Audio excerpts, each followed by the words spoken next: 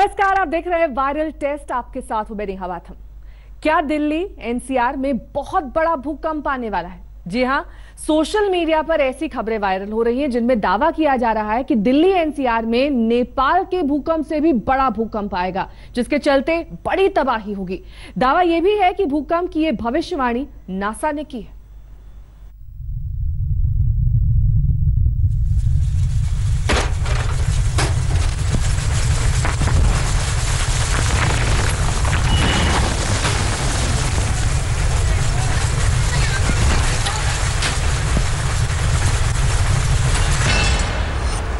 क्या दिल्ली एनसीआर में आने वाला है बड़ा भूकंप?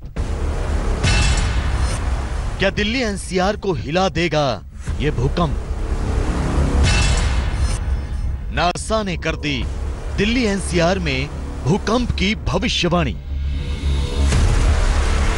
ये खबर आपको डराने के लिए नहीं, बल्कि सावधान करने के लिए। दिल्ली एनसीआर में भूकंप का सवाल यूँ ही नहीं उठ रहा है। दरअसल सोशल मीडिया पर इन दिनों दिल्ली एनसीआर में बड़े भूकंप की आहट की खबरें वायरल हो रही हैं।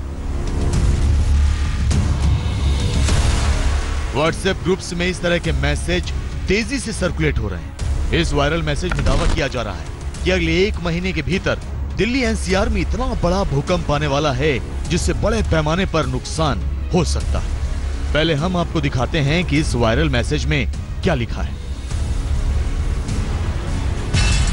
वायरल खबर के मुताबिक दिल्ली एनसीआर में 9.1 या 9.2 तीव्रता का भीषण भूकंप आने वाला है। दावा किया गया है कि यह भूकंप अगले 7 अप्रैल से 15 अप्रैल के बीच आ सकता है। दावा यह भी किया गया है कि इस भूकंप का केंद्र गुरुग्राम होगा। वायरल खबर में दावा किया जा रहा है कि यह दिल्ली एनसीआर में अब तक का सबसे बड़ा भूकंप होगा। दावा तो यहाँ तक किया जा रहा है कि इस भूकंप का असर जम्मू कश्मीर, पंजाब, हरियाणा, राजस्थान पंजाब से लेकर तमिलनाडु तक होगा। इस वायरल मैसेज में खबर का स्रोत नासा की वेबसाइट www.nasalert.com को बताया गया। ये खबर हमारे लिए बहुत अहम थी, क्योंकि 2015 में हमने नेपाल में आए भूकंप की तबाही देखी। वहाँ 8.1 तीव्रता का भूकंप आया था। लेकिन यहाँ तो दावा किया जा रहा है उससे भी बड़े भूकंप का, यानी और भी बड़ी तबाही। हमने इस खबर का वायरल टेस्ट किया। हमने तेजपुर के सेस्मोलॉजी डिपार्टमेंट के वैज्ञानिकों से बातचीत की। उनसे पूछा कि क्या वाकई दिल्ली एनसीआर में इतना भयानक भूकंप आने वाला है? नासा कभी इस तरह की काम नहीं करती है। इस अगर अर्थक्वेक स्टडीज़ का कोई काम होता है तो वो यूएसजीएस के द्वारा किया जाता है। आ, मेरे हिसाब से ये हंड्रेड परसेंट गलत न्यूज़ है होक्स है। आप इस पे कतई विश्वास ना करें। भूगर्भ वैज्ञानिकों ने तो एक सिरे से इस बात को खारिज कर दिया कि ऐसा कोई भूकंप दिल्ली एनसीआर में आने वाला है। वैज्ञानिकों का कहना है कि अभी कोई ऐसी तकनीक नहीं आई है जिससे भूकंप की भविष्यवाणी की जा सके। वैज्ञानिक लगातार इसकी खोज में लगे हुए हैं। अभी तक यह है प्रेडिक्शन किया नहीं जा सकता है, लेकिन दुनिया में कम से कम हज़ारों लोग इस विषय में शोध करने लगे हैं। हो सकता है कुछ सालों बाद हम इस विषय में पहले से बता सकते हैं। वैज्ञानिकों ने तो इस बात पर भी हैरानी जताई कि भूकंप की भविष्यवाणी नासा की वेबसाइट ने की है। सच तो यह है कि नासा की www.nasalert.com नाम से कोई वेबसाइट ही नहीं है। नासा की असली वेबसाइट है H T T P S double colon double slash W W W dot NASA dot G एक बात और नासा का काम अंतरिक्ष में अनुसंधान करना है ना कि भूकंप की भविष्यवाणी करना। ये भी आप देख रहे हैं सोशल मीडिया में नासा का नाम लिया जाता है और इस तरह नासा के नाम लेकर के सोशल मीडिया में बहुत ऐसे वायरल होना मैसेज जो है स्वाभाविक है लेकिन इससे हम आ, कभी इस तरह चीज़ों को जो है हम उस तरह से ना लें जैसे कि हमें नासा का नाम ले जो कि उनका काम ही नहीं है। तो इसलिए इसलिए ये नासा का नाम लेकर के इस तरह मैसेज को वायरल करना मुझे लगता है ये आ, कुछ लोग जो है इसमें लगे हुए हैं। हमारी अब तक की पड़ताल में दो बातें पानी की तरह साफ़ हो गईं कि ना तो दिल्ली एनसीआर में कोई बड़ा भूकंप आने वाला है और ना ही नासा इस तरह की कोई भविष्यवाणी करता।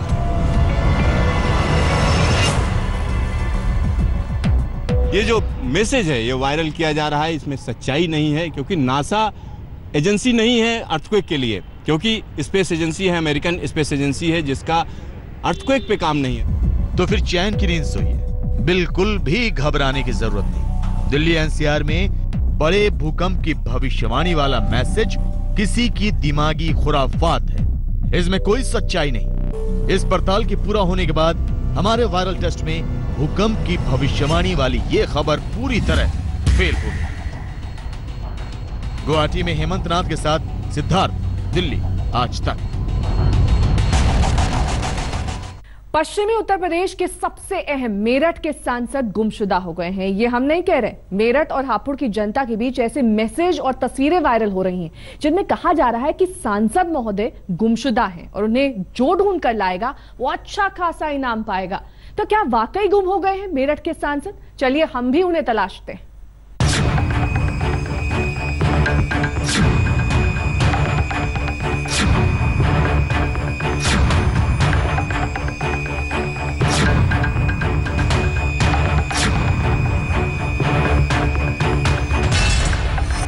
गायब हो गए हैं मेरठ के सांसद जी। ढूंढे नहीं मिल रहे हैं मेरठ के सांसद जी। अपने सांसद की तलाश में है मेरठ वाले।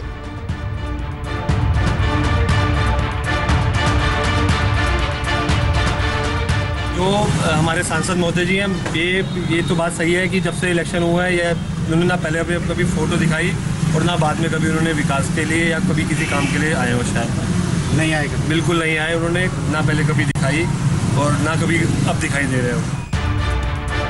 सुनने में थोड़ा अजीब लग रहा होगा लेकिन मेरठ के तमाम लोगों का यही मानना है कि उनके क्षेत्र के सांसद राजेंद्र अग्रवाल लापता हो गए जी हाँ सोशल मीडिया पर इस तरह की खबर वायरल हो रही व्हाट्सएप ग्रुप, फेसबुक और दूसरे सोशल मीडिया पर मेरठ हापुड़ के सांसद राजेंद्र अग्रवाल की ऐसी ही तस्वीरें वायरल हो रही उन्हें ढूंढ कर लाने वालों को इनाम देने का ऐलान किया जा रहा है। सांसद राजेंद्र अग्रवाल की तस्वीरों पर टिप्पणी लिखकर लोग व्हाट्सएप ग्रुपों में डाल रहे हैं। राजेंद्र अग्रवाल पिछले दो बार से मेरठ हापुड़ लोकसभा सीट के सांसद हैं। यानी सांसद रहते उन्हें करीब 10 साल हो गए हैं। लेकिन मेरठ में उनके कामकाज से असंतुष्ट लोगों ने उनके खिलाफ ये मुहिम चलानी शुरू कर दी है। हमने मेरठ के सांसद के गायब होने की इस वायरल खबर की पड़ताल की। हमारी पड़ताल में उन लोगों का पता तो नहीं चला जिन्होंने ये तस्वीरें वायरल की हैं, लेकिन हमने उनकी कॉलोनी के पास उनके पड़ोसियों और गार्ड से बातचीत की। उनसे पूछा कि क्या वाकई सांसद महोदय गायब हो गए हैं? जरा सुनिए जवाब। फ़ोटो वायरल है मेरे पास मैसेज आया है मेरे पास भी। हाँ। मैं भी खूब हंसा देख के। हाँ। क्या सही है क्या ये? नहीं अब सही होगा जो भेज रहे हैं तो उनके लिए तो सही है। जो लोग कह रहे हैं वो बिल्कुल सही कह रहे हैं। हमने दस साल पहले सांसद जी को देखा था उसके बाद नहीं देखा। विकास के नाम पर आप लोग खुद शहर में निकल जाओ आपको खुद दिख जाएगा कि शहर में कितना विकास हुआ है। सांसद जी गायब है सांसद जी के होने वाले कार्य भी गायब हैं। हमने अपनी ये पड़ताल आगे बढ़ाई शहर के लोगों से बातचीत की। हमारी पड़ताल में पता चला कि स्थानीय लोग अपने सांसद से थोड़े नाराज़ हैं क्योंकि वो क्षेत्र में समय नहीं देते। सांसद जी का जो है भ्रमण क्षेत्र में बहुत कम है। और लोगों को उनसे जो आशाएँ थी, जो उन्हें वोट दी थी, उस पर वो खड़े नहीं उतर रहे हैं। ये तो जनता में एक मैसेज जा रहा। है तो वो जनता में आए बीच में और अपना जो स्पष्टीकरण वो दें तो उनकी भी छवि साफ़ होगी और शहर को भी फ़ायदा होगा। और तो और खुद बीजेपी कार्यकर्ताओं में भी इस बात का गुस्सा है कि सांसद राजेंद्र अग्रवाल ना ही इलाके में दिखाई देते हैं और ना ही मेरठ के विकास कार्यों में रुचि लेते हैं। काम कुछ करते नहीं है। ना आज तक आए, ना कभी हमने देखा शहर में। उन्हें कहीं देखा ही नहीं है। चुनाव के टाइम में ज़रूर एक दफ़ा देखा था वो आए थे बाकी आज तक उन्हें कभी देखा नहीं है। हमारी इस पड़ताल में ये बात साफ़ हो गई कि मेरठ के सांसद राजेंद्र अग्रवाल के कामकाज से वहाँ की जनता में तमाम लोग खुश नहीं हैं। एक तो लोग मेरठ के विकास के कार्यों से संतुष्ट नहीं है, दूसरे लोगों का कहना है कि उनके सांसद अपने क्षेत्र में उतना वक्त नहीं देते जितना वक्त उन्हें देना चाहिए। तो हमारे वायरल टेस्ट में मेरठ के लोगों की शिकायतों की बात तो सही पाई गई। लेकिन इस वायरल खबर का दूसरा पहलू ये है कि सांसद कहीं गायब नहीं हुए हैं। उन्हें गुमशुदा बताकर खोजने वालों को इनाम घोषित करने की वायरल तस्वीर बस उन्हें सचेत करने के लिए है। उम्मीद यही की जानी चाहिए कि सांसद राजेंद्र अग्रवाल अपने क्षेत्र की जनता की शिकायतें ज़रूर दूर करेंगे। उस्मान चौधरी, मेरठ, आज तक। नवजोत सिंह सिद्धू, पहले बीजेपी और प्रधानमंत्री नरेंद्र मोदी की शान में कसीदे गढ़ते थे, लेकिन अब सोनिया गांधी और मनमोहन सिंह का गुणगान कर रहे हैं। जो डायलॉग कभी उन्होंने मोदी के लिए मारा था, वही अब डायलॉग वो मनमोहन सिंह के लिए मार रहे हैं। आज तक ने सिद्धू की एक गुलाटी पहली बार दिखाई थी, उसके बाद उनका रंग बदलने वाला ये वीडियो पूरे देश भर में वायरल हो गया। भाई के जन्म दिवस पे यहाँ आना सिद्धू के लिए ऐसे ही है जैसे कोई मिट्टी का ढेला गुलाबों की क्यारी में आ गया। जैसे कोई तिनका बहता बहता नर्मदा माई में किसी शिवलिंग के ऊपर टिक जाए वैसा सिद्धू आज नरेंद्र भाई के जन्मदिन पे यहाँ आके महसूस कर रहा है मेरे भाई। जैसे नर्मदा माई में बहता हुआ कोई तिनका किसी शिवलिंग के ऊपर टिक जाए तो क्या महसूस करेगा वैसे ये सिद्धू यहाँ तुम्हारे महाकुंभ में आके महसूस कर रहा है। मौनी बाबा मोबाइल साइलेंट पे करना हो तो मनमोहन सिंह मोड पे कर लो। बोलो सही है कि नहीं सही? कि सरदार मनमोहन सिंह जो आपके मौन ने कर दिया वो बीजेपी के शोर शराबे ने नहीं किया। और प्रधानमंत्री सरदार है ये तो मैं नहीं जानता पर असरदार नहीं है।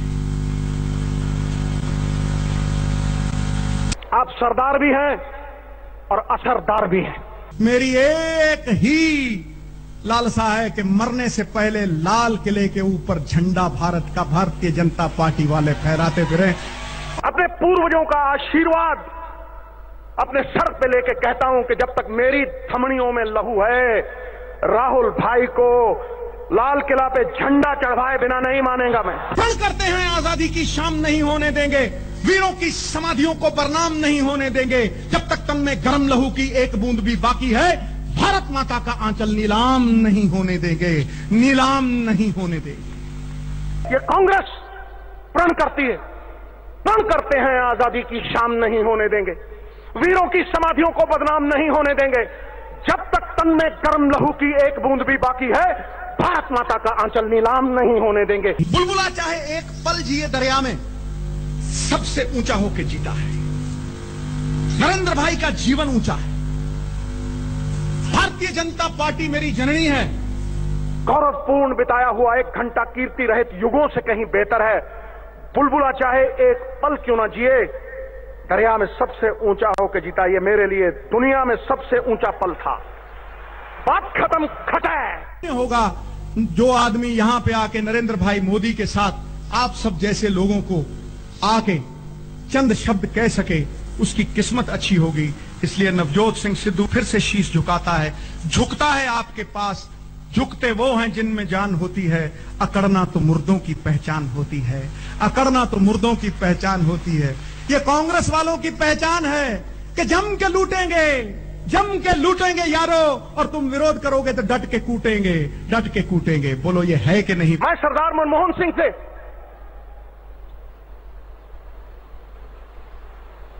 माफ़ी भी मांगना चाहता हूँ। और झुक के झुकते वो हैं जिनमें जान होती है, अकड़ना तो मुर्दों की पहचान होती है। वायरल टेस्ट में एक बार फिर आप सभी का स्वागत है। गर्मी का मौसम आ गया है। ज़ाहिर सी बात है कि आप जब अपनी कार में बैठेंगे तो एसी चलाएँगे। अगर आपके पास कार है तो ये खबर आपके लिए है। जी हाँ इन दिनों एक खबर वायरल हो रही है, जिसमें कार में एसी चलाने पर कैंसर जैसी बीमारी का डर दिखाया जा रहा है। इस खबर का सच जानना आपके लिए बेहद ज़रूरी है।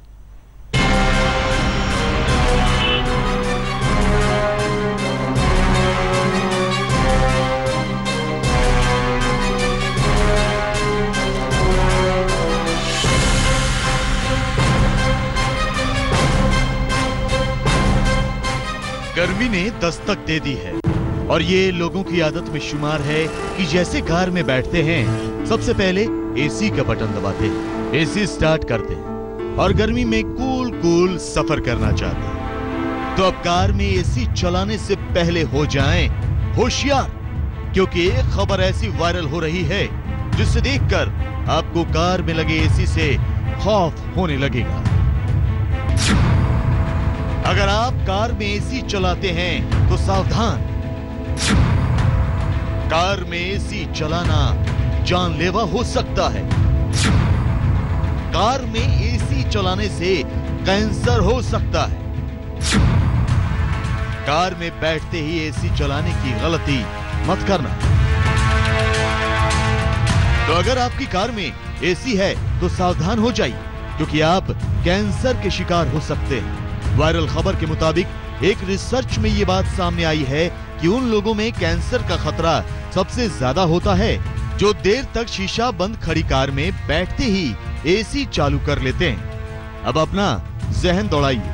आप जब भी कार में जाकर बैठते हैं या उसे स्टार्ट कर रहे होते हैं, तब गर्म प्लास्टिक जैसी हल्की सी गंध महसूस करते हैं। क्या आपने कभी सोचा है कि ये गंध आखिर किस चीज़ की है और कहाँ से आती है? तो आज हम इस खबर का वायरल टेस्ट करेंगे।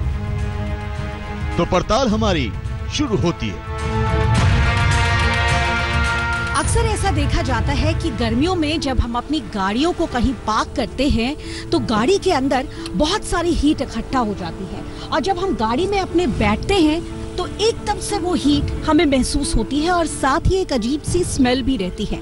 और जैसे ही हम गाड़ी का एसी ऑन करते हैं तो वो तुरंत ही गाड़ी में बैठने के साथ एसी की वजह से वो हीट जो है वो कुछ अजीब सा अपने आप में मिक्सचर लेकर स्मेल लेकर हमारे अंदर इनहेल होती है। इस गैस को कहा जाता है बेंजीन एक रिसर्च में निकल कर आया है कि ये बेंजीन गैस है जो कि डैशबोर्ड है प्लास्टिक मटेरियल है हमारी गाड़ियों से, जो कि निकलते हैं उस वक्त और ये हानिकारक होते हैं कैंसर के कारण होते हैं। आज हम इसी पर रिसर्च करेंगे। एसी ऑन करिएगा।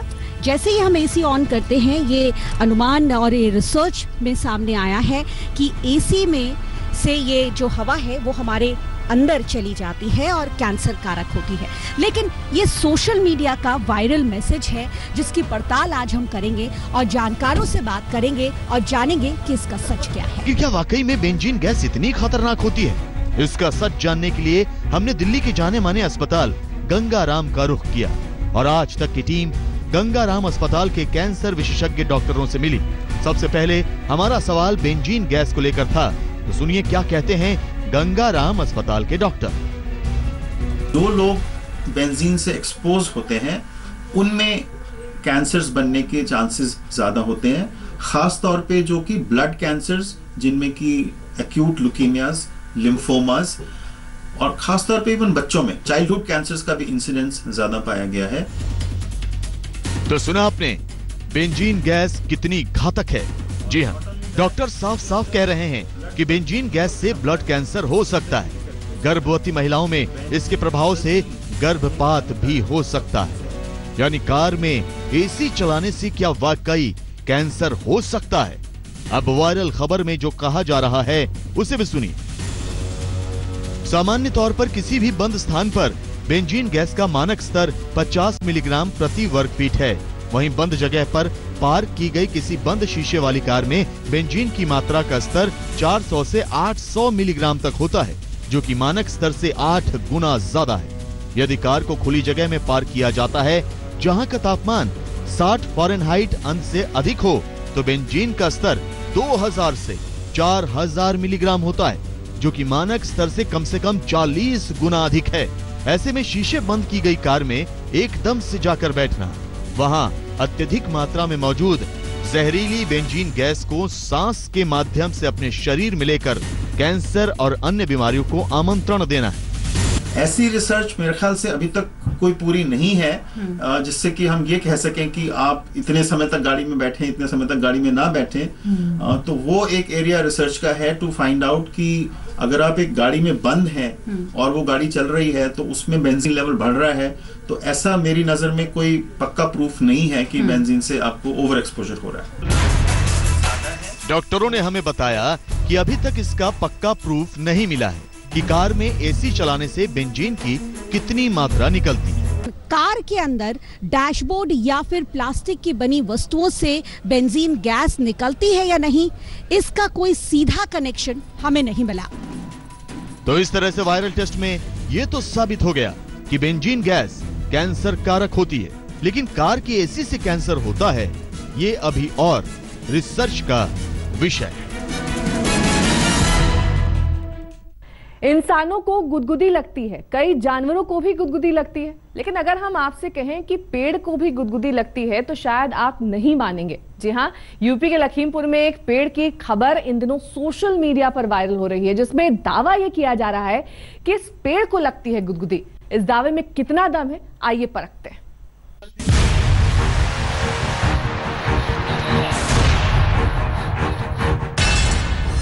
गुदगुदी करने पर खिलखिलाकर हंसता है ये पेड़।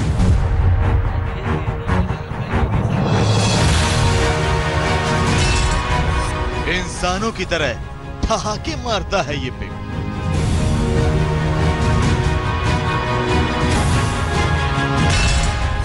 हँसते पेड़ का वायरल टेस्ट गौर से देखिए ये वीडियो। एक शख्स पेड़ के तने को सहला रहा है। तो बार बार वो कैमरे की तरफ़ भी देख रहा है। अब उसका दावा सुनिए जो सबसे ज़्यादा चौंकाने वाला है। गौर से सुनिएगा।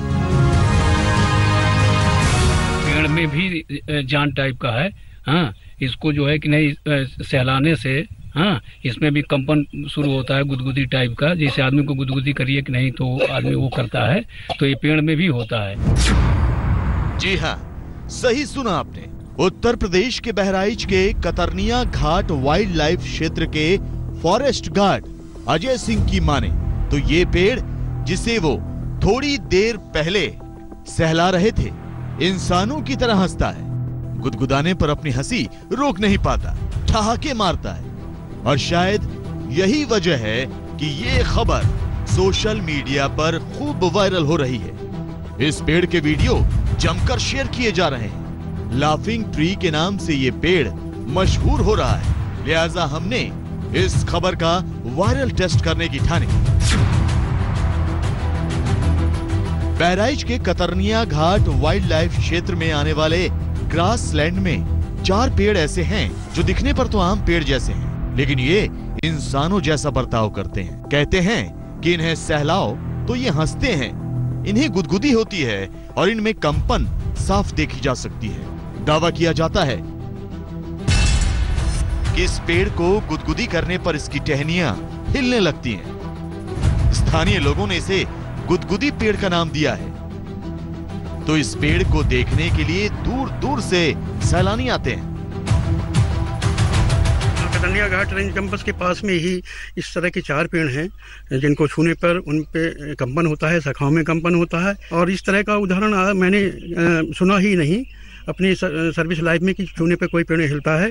तो इस तरह से लोगों में ये उत्सुकता बनी हुई है कि जाके हम हम भी जाके देखें उनको।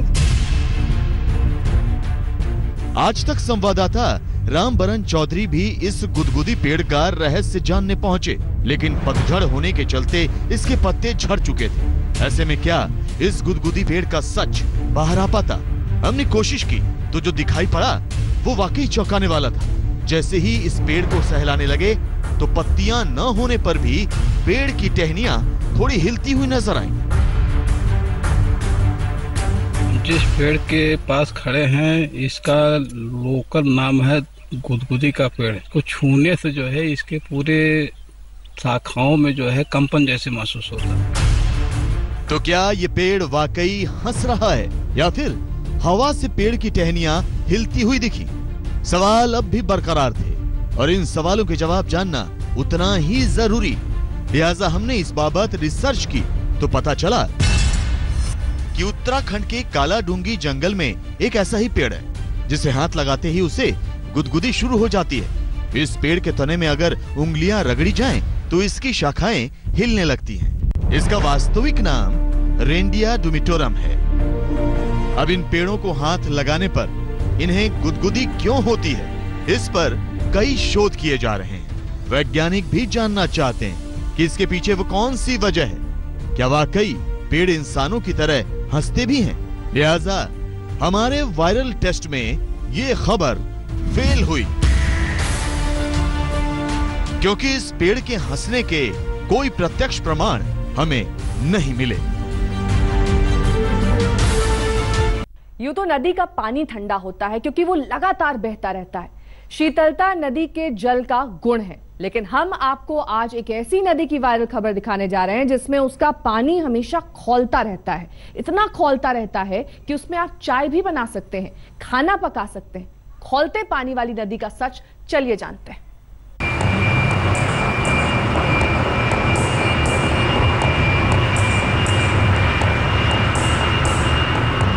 एक बड़ी पुरानी कहावत है जो आपने ज़रूर सुनी होगी। आग का दरिया है और डूब के जाना है। लेकिन आज हम आपको दिखाने जा रहे हैं खोलता दरिया, जिसमें कोई डूब जाए तो ज़िंदा नहीं बचता।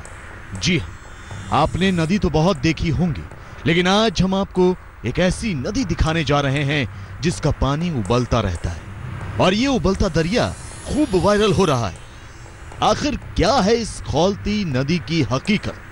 आज हम वायरल टेस्ट में इसी की पड़ताल करेंगे। आखिर क्यों खोल रही है ये नदी? क्या इस नदी के नीचे भी आग का दरिया है? या फिर किसी चमत्कार से ये नदी उबल रही है?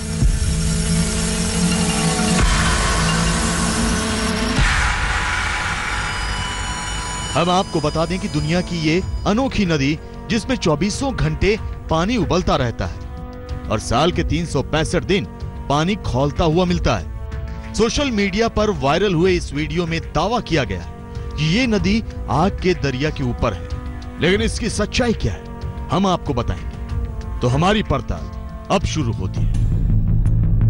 खबरों और इंटरनेट को खंगालने के बाद जो तमाम जानकारी हमें मिली, उसे पता चलता है कि उबलते पानी की नदी दक्षिण अमेरिका के अमेजन बेसिन में है। इसको बॉइलिंग रिवर के नाम से भी जाना जाता है।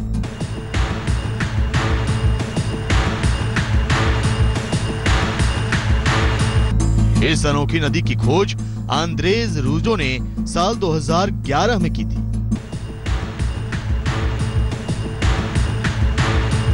इस उबलते हुए पानी की नदी की लंबाई 6.4 किलोमीटर है। बॉइलिंग रिवर की चौड़ाई बयासी फीट और गहराई 20 फीट है। अमेजन बेसिन में यह नदी जंगल के बीच बहती है। इसका पानी 200 डिग्री फारेनहाइट पर उबलता रहता है। ये तापमान इतना है कि अंडे और चावल आसानी से उबाल सकता है। कहा जाता है कि अगर कोई जीव इस नदी में गिर जाए तो वो ज़िंदा नहीं बचता। ठंड के मौसम में भी इस नदी का पानी इतना ही गर्म रहता है। बॉइलिंग रिवर के आसपास उसके गर्म पानी की भाप उड़ती रहती है। इस भाप की वजह से कई बार इलाके में दृश्यता यानी विजिबिलिटी काफ़ी कम हो जाती है। इस वजह से इलाके से अनजान लोगों के हादसे का शिकार बनने का खतरा भी अधिक रहता है।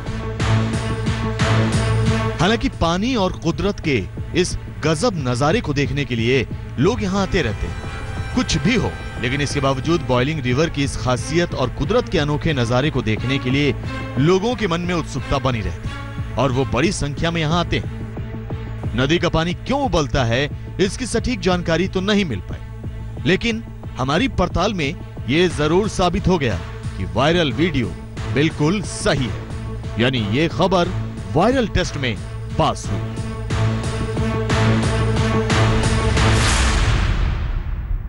वायरल टेस्ट में अभी के लिए बस इतना ही। देश और दुनिया की तमाम खबरों के लिए आप बने रहे हमारे साथ। देखते रहिए आज तक।